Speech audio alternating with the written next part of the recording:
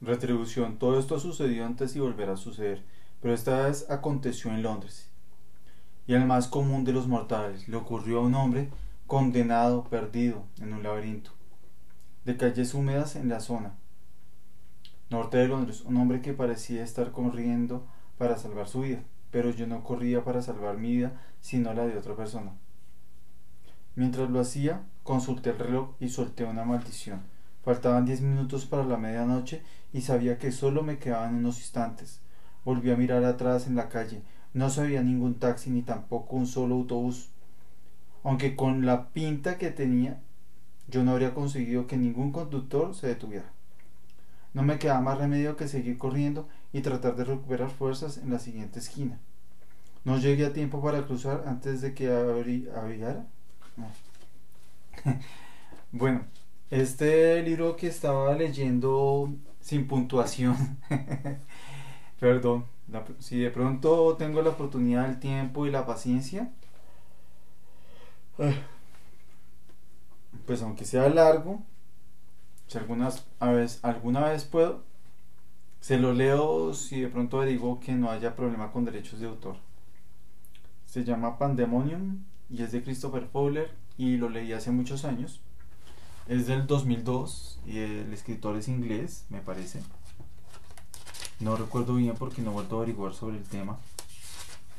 Lo compré en, en el aeropuerto y me llamó la atención el nombre y alguna vez no sé por qué el Fowler me llama la atención, entonces no sé. Compré el libro por, el, por el, la portada, vi la parte de atrás como el resumen.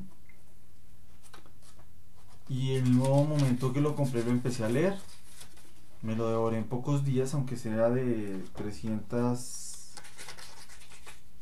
¿300 cuántas páginas?